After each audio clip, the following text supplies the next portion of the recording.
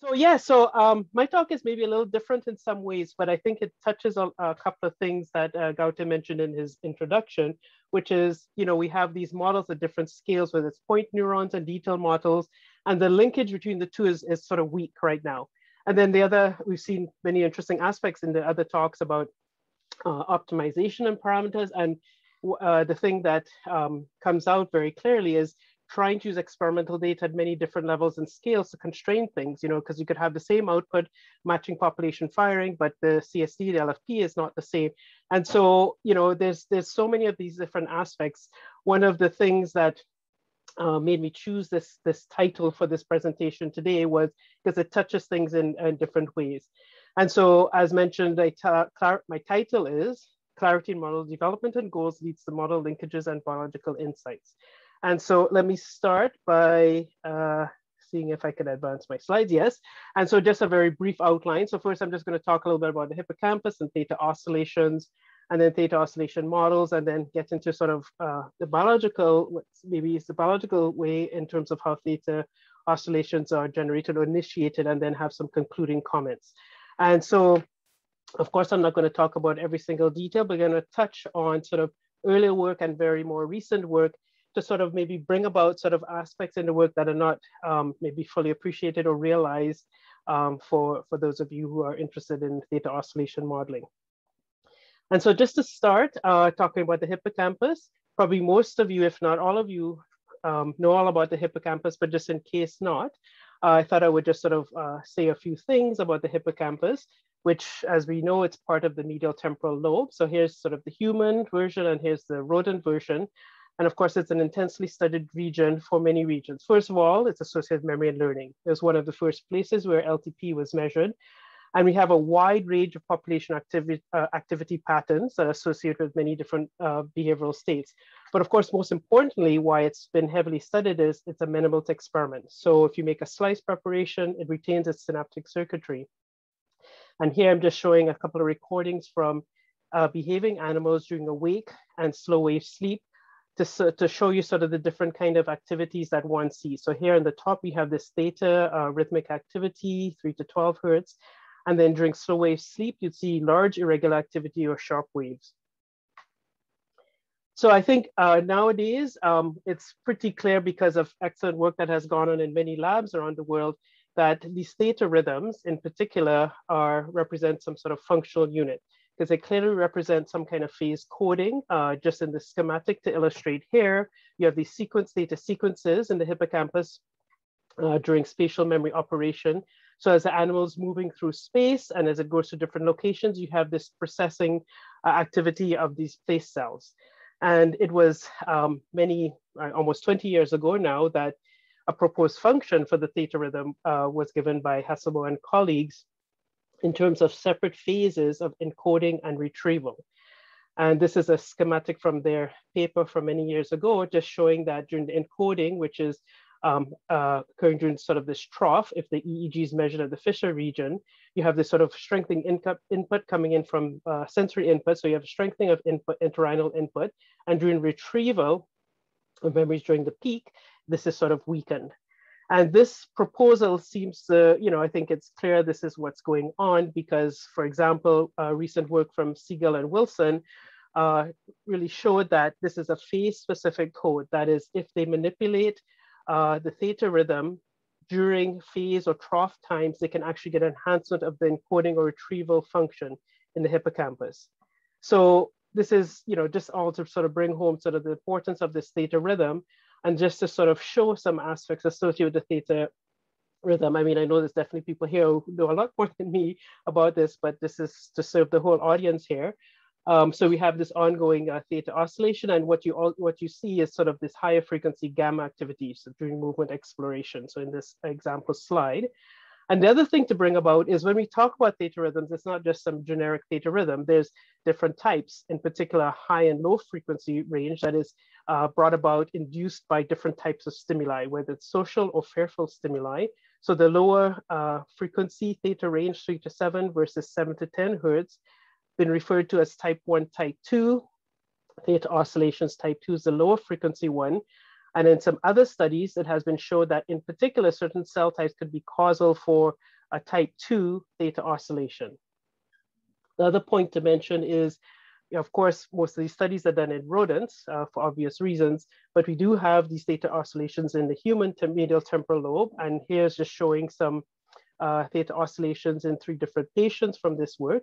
And the main difference uh, that one has between sort of that one sees between the rodent and the human is sort of the intermittency. So it's sort of a continual sort of rhythm in the rodent, but it's more intermittent, but it does exist there and it's the same functional role.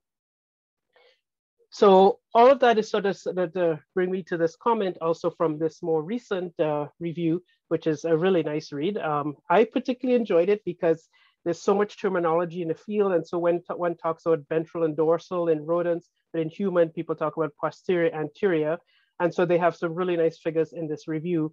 But this, um, what they bring about here in terms of the hippocampus, the structure and the details associated with it, is that there's sort of this uh, uh, dichotomic view in terms of the dorsal hippocampus being important in the memory spatial aspects and the ventral more in anxiety related. So that sort of harks back to that uh, earlier, if I just mentioned in passing with the type two oscillation. But fast forward to present day where there's a lot more data and experimental uh, insight in terms of sort of this, this fantastic structure. So if you look at uh, sort of genetic, intrinsic and extrinsic kind of co connectivity, it seems clear that this dichotomous view is maybe uh, too simplified. Gene expression studies have showed like this actually a tripartite uh, division and it's the ventral one third in terms of the uh, ventral side of the hippocampus that's uh, where the intrinsic connectivity sort of has sort of this different role and the extrinsic side is sort of more the sort of gradient. And so um, what's been said in these studies, um, you know, bringing together many of these studies in this excellent review is that we have sort of, we could think about this sort of functional long axis gradient superimposed on sort of discrete functional domains. And so all this understanding and data and information that we're sort of, that has been gathered in sort of the hippocampal structure sort of help us sort of tease apart and understand how to focus our uh, modeling studies. At least this is how I sort of view it. So all of this sort of is to say is that there are various rhythms, theta rhythms to consider. It's not a, a you know, just a theta rhythm. And in this end, ending of this sort of uh, blathering on my part about the hippocampus is sort of this older review from Buzsáki to sort of show that in the intact brain or in the in the brain where you have lesion in the entorhinal cortex, you have theta rhythm with or without entorhinal cortex. So this is just sort of, you know, if you look at sort of the current source density, that it's there in many different capacities. And so what we really have to sort of uh, be aware of in doing any of these models is what is it we're actually to have a clear sense of the context when we ask the question of how the theta rhythms are generated. So of course, any of us, all of us in the computational neuroscience field have this problem, right? It's a multi-scale problem and as was really nicely sort of um, expressed in that review by uh, Gaute and, and, colleagues about simulations, we really need to have them to sort of figure out what's going on, but we really have to try to take advantage of experimental data at all these different levels. And so in the context of theta uh, rhythms, of course, because they're you know been heavily studied, there's of course exists many different models for them. And some years ago, Katie and I had sort of summarized a lot of these existing models in the in um, one of the computation neuroscience encyclopedias. And this is just to sort of give you a, a taste of, of, sort of existing models that are out there. In this schematic, uh, there's sort of three cell types, and this is taken from Wolf et al. It builds on earlier work from uh, Nancy Kopell and colleagues, where there's sort of three cell types. You have the fast firing uh, I cells, the pyramidal E cells, and what they're called O cells, which are essentially OLM or sort of the slow firing uh, inhibitory cell types. And how we summarize it here with the different uh, uh, references is what cell types were included, the number of compartments in each of the cell models, the size of the network, the different connections. And you know, of course, there's details associated with each of these um, uh, well-done modeling studies. But the point here is, um, as Katie sort of outlined in this article, is when we're sort of building these models is the multi-scale aspect, but what cell types should we include? How should we model these individual cells? How is the network connected? How many cells should you use to represent a population? And so getting back to this key question, essentially this opportunity arose several years ago uh, because of work from Sylvain Williams' lab. So um, again, just to sort of give the context, because I want to sort of focus on, on certain aspects of multi-scale. and so this, this work got me very excited back then because here was an in vitro whole hippocampus preparation spontaneously expressing theta oscillations such that one, and because of the series of experiments that they did, they could say that the theta oscillations were due to the coupling of multiple autonomous oscillators. So in other words, you had sort of a, a chain of oscillators that were expressing theta rhythms. So this allowed us to sort of like hone in on the sort of size of network that was required and also is in the CA1 or distal CA1 subiculum region. So that was exciting and we took advantage of this. So this is work is published. So I'm not going to go through in detail, but I'm trying to sort of give you the sequence and the thoughts behind the point I want to make, which hopefully will be clear.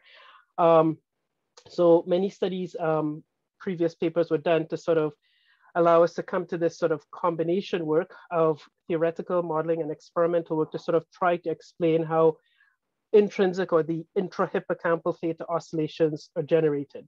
And so the questions that I mentioned before about well, what cell types include, well, uh, we included just see if we could get away with just including two types, so the pyramidal cells and the fast firing PV cell types, which of course encompass many different uh, cell populations.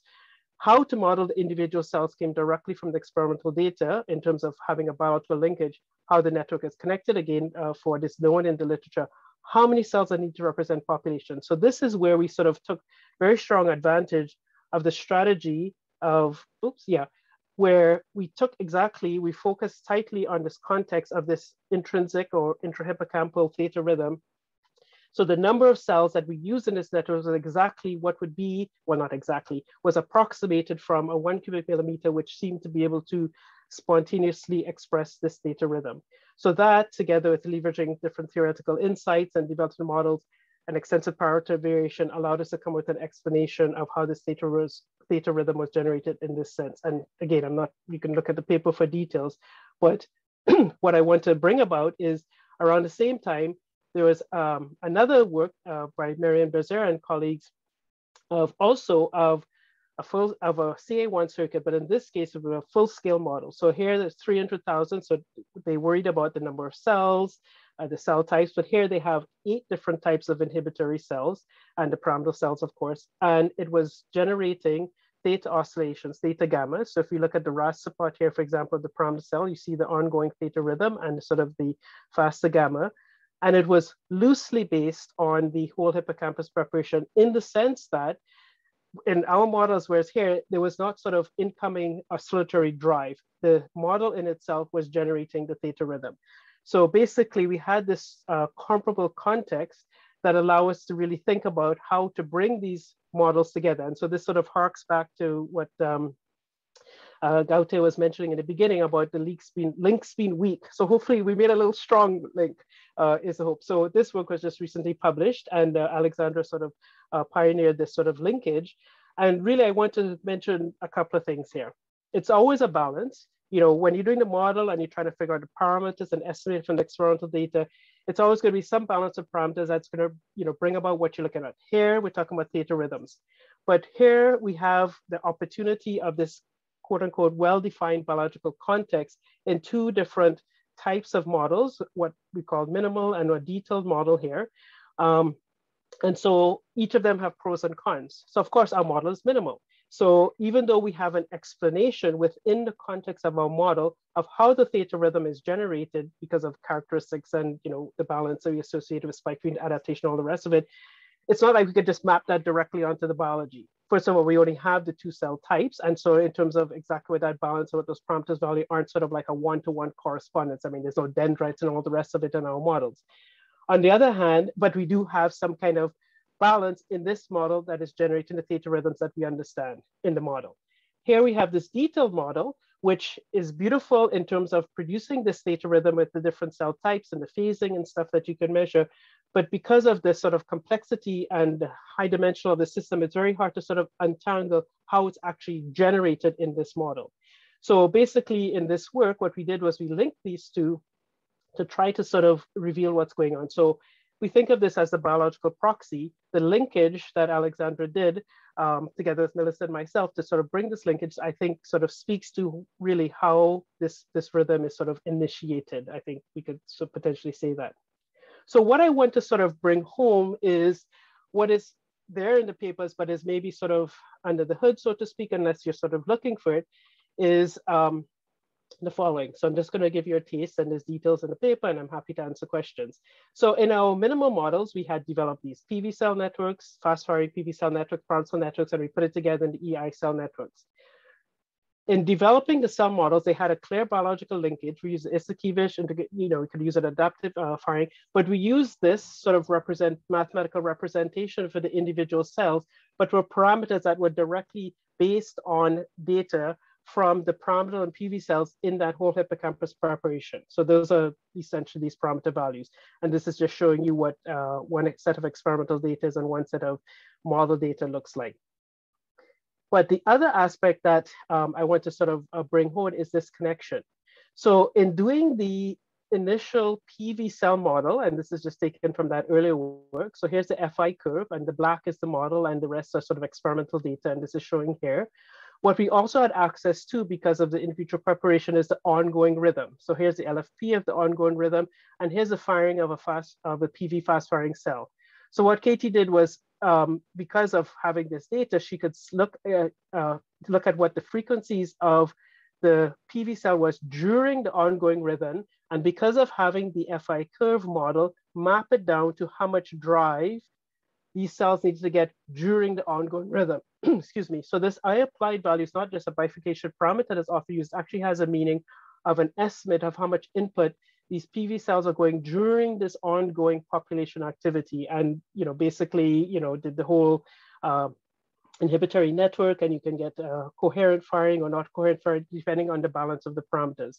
So because of that, when we put this EI cell network together, we weren't sort of um, uh, um, we took away the I applied input because now we have the input that it's getting is actually from the pyramidal cell. But because we're using the correct network, appropriate network size, as it turned out, the excitatory drive that the PV cells were, were receiving, and the 500 is approximately what you would have in that slice, actually matched experimental data in terms of the excitatory drive we'd be getting. So that, in other words, the balance was there in the system. And um, this, I mean, we talk about this in our papers, but it's you know not something focused on. But why it's important is because it's always about balance of parameters and uh, the context that you're looking at. So this I'm not going to talk about in detail, but because of having this sort of minimal model, we sort of uh, uh, it to look at sort of uh, hypothesis development of the frequency of how it was generated. What I do want to talk about here in the time that I have is the link back to the detailed model uh, the work that Alexandra just published. So this, this uh, work, as I mentioned before, the parameters in this detailed model that um, Bezaire and uh, et al. that came from model cell numbers and connectivity. So the, the structural connectivity was uh, a huge amount of work that was previously published in 2013, sort of this knowledge base of bringing all this data together and then creating the whole full scale model structure of it. So as a tour de force, um, but the way that, so that's in terms of cell number, so it's about 300,000 plus uh, cells in, in the CA1 model and the different layers and the connections in the appropriate layer, layer dependent fashion. Uh, each cell model was multi-compartment, but it was really only the pyramidal cell that sort of had a full detailed um, uh, morphological structure. Um, you know, this of course helped in terms of bringing about the LFP output from the model, which is important. And the other inhibitory cells also multi-compartment in a minimal, minimal fashion. In terms of matching electrophysiology, here's a comparison that they did with the experimental data and their model. And this is in the appendix. I'm just showing you a snapshot, for example, of the resting mean potential, the threshold, and the spike amplitude of, um, of the comparison of the model and the uh, um, experimental data. So what was a big deal um, in terms of trying to do this linkage or in doing this linkage was how actually to dissect out this detailed model exploration. So as I mentioned, we had this um, explanation from a minimal perspective of how the theta was generated, and we had this detailed model. And so if we could sort of make links, which is essentially what we did in this paper, we could now sort of think about it from a biological perspective of how this theta uh, was generated or initiated. And so again, um, this is published, so I'm not going to dive into all the details, but suffice it to say, uh, we, by linking these two or looking at these two models side by side in terms of connectivity and cells and inputs and all the rest of it, um, we essentially, uh, or Alexandra essentially took a piece or slice, a segment model as she called it, so that the cell numbers were analogous to that piece that we knew in from Sylvan's data could generate theta rhythms. And this is what uh, is showing here. So basically she just cut out a piece. So when she cut out a piece, you know, you have the, you know, all the different cell types connected in the particular ways that were based on the earlier studies. And here's the unfiltered LFP output, which you see is quite noisy, but you do have this sort of theta rhythm that is in that piece. So it's sort of nice to see, well, okay, if we have this sort of biologically detailed model in this piece, you know, like the experimental data is generating theta. But as I, as I mentioned, it's noisy and as the power is less than what you see in the experimental data. But now, because of this sort of comparison, the linkage with the middle model, we knew what parameter sets to focus on to extract out what could be going on in terms of getting the theta rhythm in this detailed model. And again, um, I'm not going to sort of give you all the details here today, but suffice it to say, there's a pyramidal-pyramidal connection and the excitatory drive coming into the system that where the differences between the minimal and detailed model lay.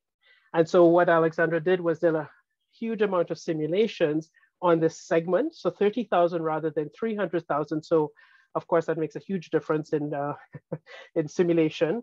Um, but what she did um, is a high dimensional system, many parameters. We expect of course to be have the de degeneracy in the system.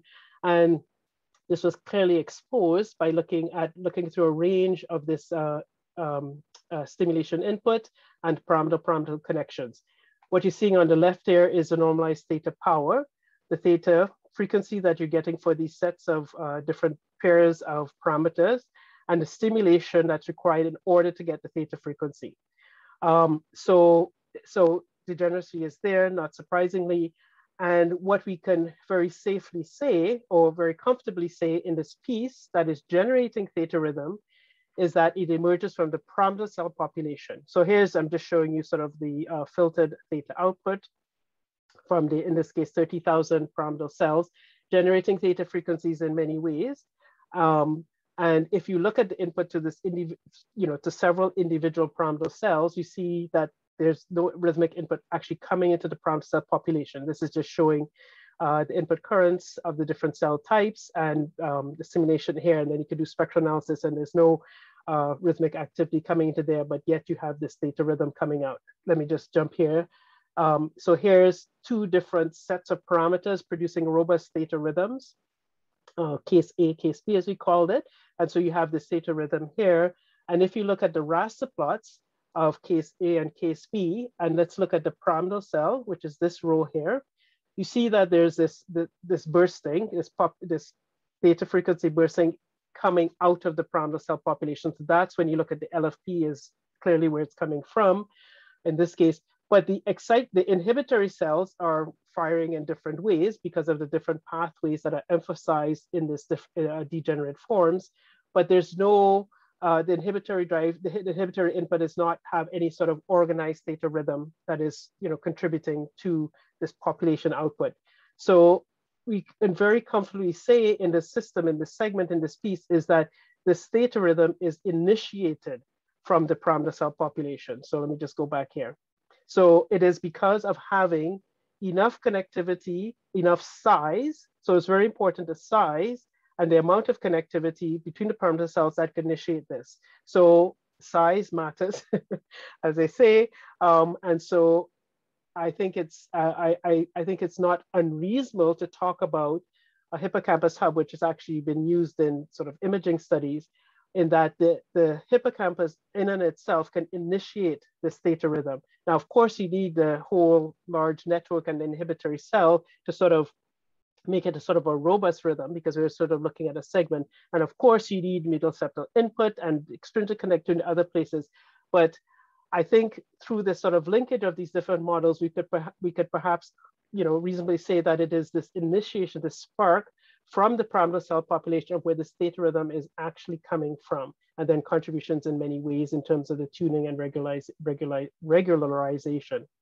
Um, so I think that's not unreasonable to say and talk about a pacemaker circuit. The story is far from finished, but this sort of um, initiation idea allows us sort of to put the rest of it together. And so I didn't keep track of my time. So I have my concluding comments, um, which I want to take a little bit of time. And so I know Juliana, I've met, never met in person, but I, I really like this paper of theirs. And I think she's wanted to speak in other days, um, what, what I think is a really interesting article some years back. And within this article, they talk about how do we know what biophysical details matter for circuit performance? And of course, as we all know, models are always wrong um, as they fail to contain all the actual biological machinery that is either we don't know about it or is considered to be less important. So, I mean, how many of our cells have glia in it, for example? Um, so, what it's uh, what we what my title, my talk, and sort of what I'm trying to sort of um, convey here is that if we can kind of have this well-defined context as we did here and take advantage of it and bring it together,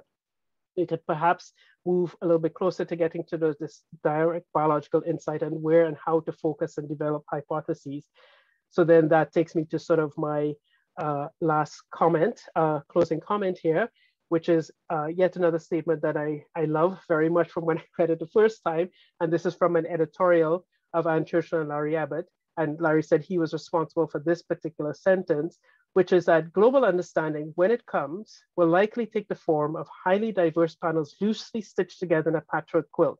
And so this is how I think about multi-purpose network models, uh, which is that you know we have all these sort of different pieces, we have these different type of models, and so trying to sort of um, sort of be uh, very transparent and clear about sort of the representation and the context we're talking about, we could sort of make these linkages. So the stitching of these diverse panels, potentially because they're representing, you know, OLM cells in slightly different ways, um, they have to be stitched together because they, each of these models are giving us something in different ways. And so in, in the way I think about it is this is how we could potentially get towards these multi-purpose network models and understand what's going on in the biological system.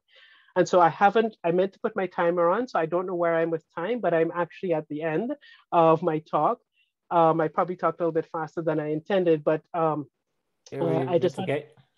okay, all right. So I just want to acknowledge all mm. past and present lab members and collaborators, and then specifically for the things I mentioned today, mm. Alexandra and Katie, and Sylvan, of course, for the preparation. Of course, our, our institute for support and, and funding and computing and all the rest of it. And so I will end there, and hopefully this was um, uh, helpful, interesting, and I look forward to any questions and discussions you might have. Mm. Thank you.